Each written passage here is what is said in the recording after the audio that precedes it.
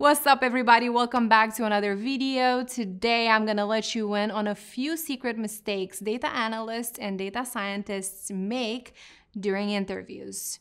At my previous position as a data analyst, I was often tasked to conduct interviews for data science and data analyst positions. And I can tell you firsthand what mistakes to avoid and how you can land that dream job. With all that being said, let's get started. Number one, not conducting research on the company beforehand. Now, I assume when you have gone through your application process that you have done your research on the company. But if you haven't, make sure you do before your interview because you will be asked if you like the company, what attracted you to the company, what attracted you to the position, why you want to work for the company. Here is your time to shine when it comes to your research. So, is there any product you like in specific? Is there anything you would like to improve? Have you used the product yourself. If that is the case, make sure you emphasize that. Let's take, for example, Netflix. I'm pretty sure that most of you watching right now have a Netflix account. And you, for example, are asked to interview for a data analyst position for Netflix. Now, they will ask you, have you used Netflix? And obviously you have, right? You'll be binging those shows. I know what you're doing in your free time. But let's not get derailed.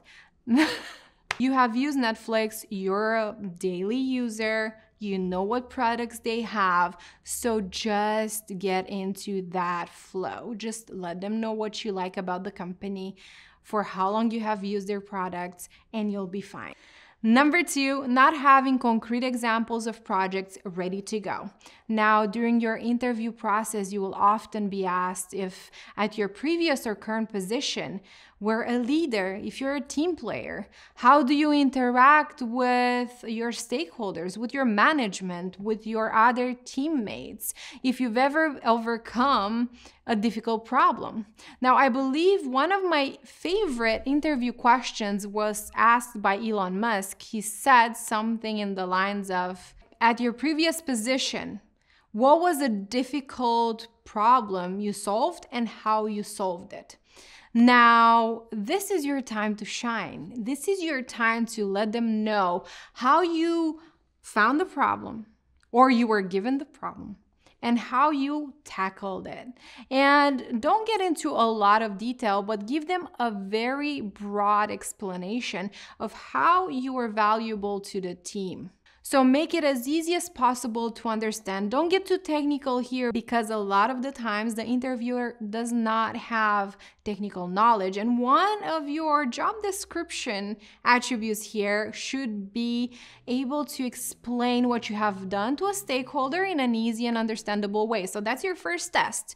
If your interviewer that is of non-technical uh, background can understand what you're saying and how you solve that difficult problem from the company, then you're good to go. Here, it's not as important what you did technically, but what you think. The interviewer wants to see how you think, how you solve problems. So try to make it as easy for them to understand as possible. Now, in this process, while you were asked if you ever were a leader or a team player or how you solved a difficult problem, don't go ahead and be like, oh, give me a few minutes. I don't know. Um, uh, I have to think about it. Don't do that. That just shows that you are absent during previous projects or just a general lack of interest. Now, this is your time to shine.